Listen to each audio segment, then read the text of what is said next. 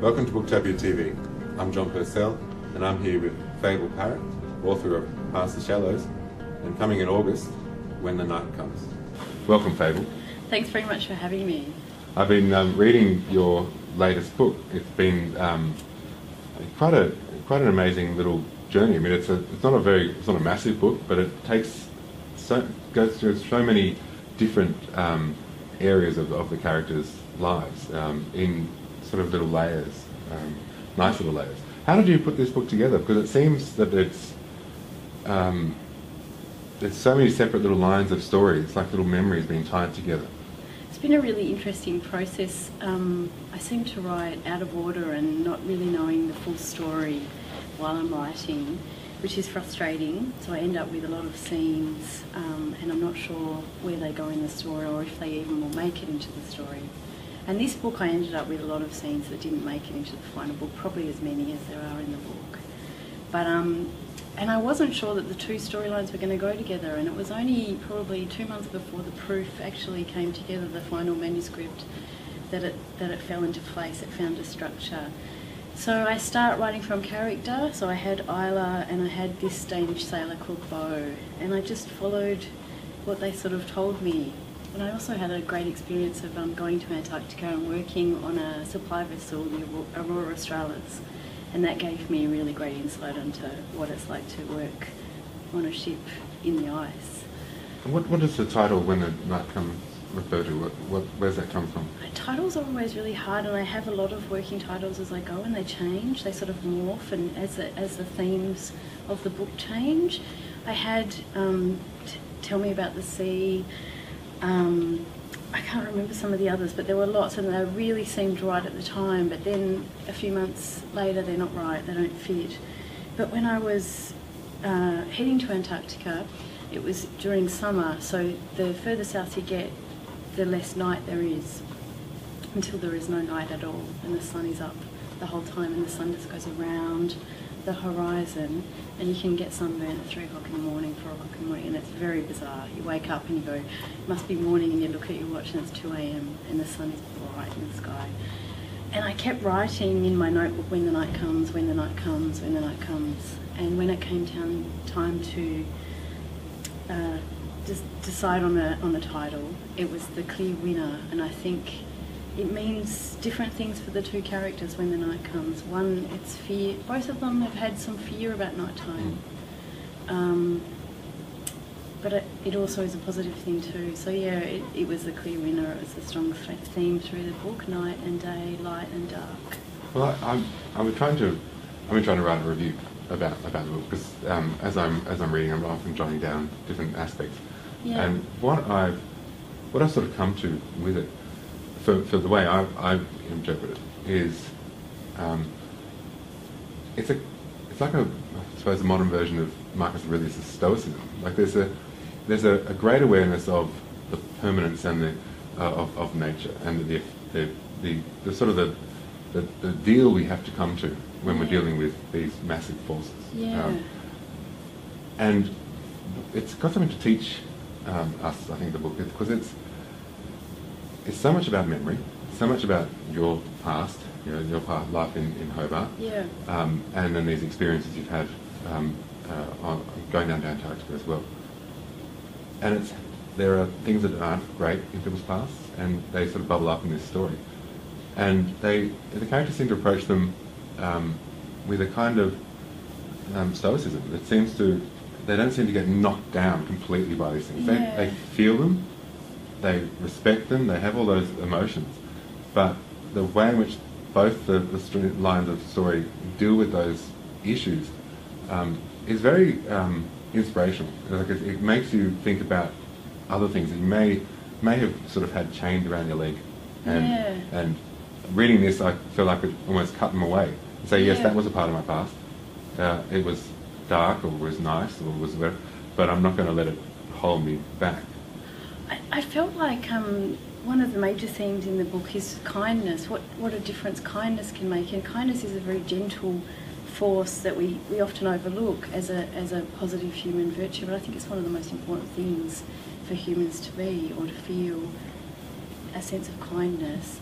And for the, the girl, the young girl character, what a difference kindness makes from this stranger who makes her feel like, despite her past and despite her present, her future could be anything that she wants it to be.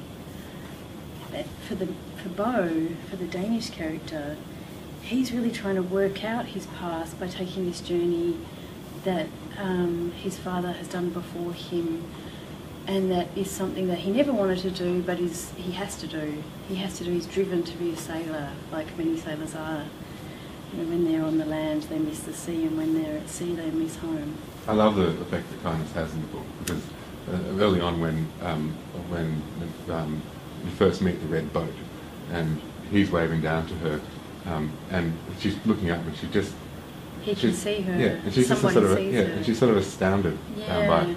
um, and then um, when um, Bo's about to get onto the boat, and he meets the young the young um, steward, and they sort of have their little chat, where, where the, the, the voluble steward talks, talks, talks, and Bo sort of just Yeah. just, you see me, we're, we're, we're, we're going to be together for a long time. I like you, and you're being nice to me. Well, it's so fascinating to me. Out of all of the thousands of people you meet, there's some people you have an instant connection with, and sometimes there's no explanation for that. It can, it can be that instant that you recognise, I see you, you see me, we have this understanding. And it can be with a stranger in another country that you'll never see again, but you can have a brief thing where you know, I know you. Yeah. I know you, I know your story, and you have a, a connection. So it's sort of about that. Um, Bo sees this girl when she feels invisible. Hobart, she feels like she's a grey ghost almost, um, blending into the scenery, but he sees her, and what a difference that can make when someone can see you, who you are, and it's okay to be who you are. And um, I think, yeah, for Bo, his friend, this guy that just talks and talks and talks, sees him and, and likes him. Yeah. And it's easy to be around this person. And he's very different than Bo, but it's calming to be around this person that's so excited and so talking all the time and really passionate about everything and living life to the full. So to go along with that ride, you know, that really helps Bo. So he feels that when it's missing. Um, I just, I just want to go back to Past the Shallows because um, it had an incredible success um, and was out there. But I'd like you to sort of, uh, for those who don't know the book, who are coming to it for the first time, and, and uh, hopefully, um, you know, a lot of booksellers have read the book, they were in love with the new book, Yeah. so they'll be selling it out there.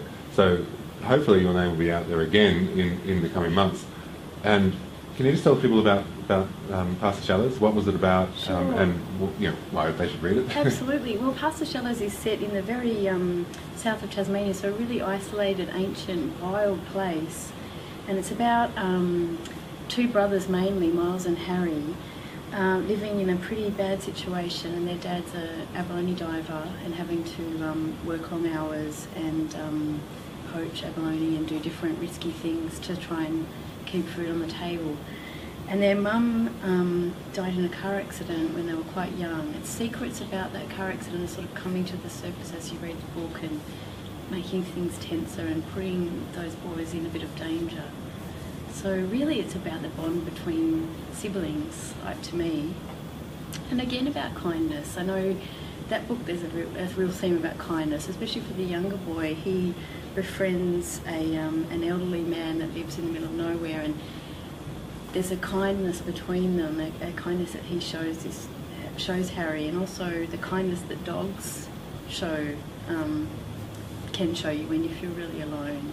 So, um, and other other animals, um, the relationship you can have with animals that are kind, that inform you about kindness. Um, yeah, so that's basically what the book's about. So um, the relationship between brother and sister in um, the books is that's largely based on your own relationship with your I, younger brother. I think for both of the books, definitely, it was easy to write um, Miles and Harry because of the relationship I have with my brother. But for this book, even more so, um, you know, I've dedicated the book to my brother. We're really close. Um, Was it a shared sort of, I I wouldn't say trauma, but that, that breaking away from Melbourne, moving to Tasmania at that young age? It, I mean, it's interesting. I'm, I'm the oldest, so I think it's probably uh, different for the younger one because they have a sibling to sort of um, look look to for help or for reassurance. Um, you know, th- this book isn't exactly my story. It becomes fiction, and also I think memory is fiction. If you if you do have siblings and you talk, you will know memory is fiction because you can be talking about something in your childhood, and your siblings like it didn't happen like that, and you've got two completely different perspectives. So, um, but I did talk a lot with my brother, and it, some things came up that we never knew about it, about each other, and that was amazing. It's been a nice experience. But yeah, it's fiction, but there's some real things. I really did move to Hobart with my mum and my brother. We went by boat and we lived um, in a rented property, and it was a it was a strange time, and it was a new city, and it felt far away, and it was an island, so it felt isolated, and it's very cold, and it was very different and, and old, and sort of. I just remember it being filled with ghosts, so quite frightening for a young kid. Um, Hobart is of course very different now. It's got a lot more people and more life, and back then it really was, you'd never see anyone on the street or in the phone books or in the milk bar. Just a very, it's like everyone was missing. There were just these houses with ghosts in them. Um, and I really did get the ferry to school and I loved that. So that um, was nice to revisit that. And I really did know the Nella Dan, so um, not as much as Isla did in the book.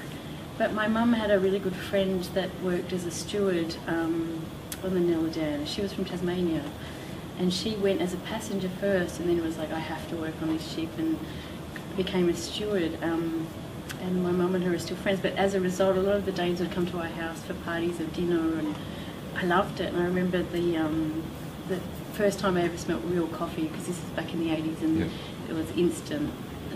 nobody had real coffee, so that smell and the, the filter and the the thermoses, um, and also how disgusting I thought herring was, pickled herring on a, you know, getting in all their beards and stuff. And now I love herring, so it's interesting. And what about what is it about the um, Danes or, or, or, the Scandinavians that, that you find is attractive?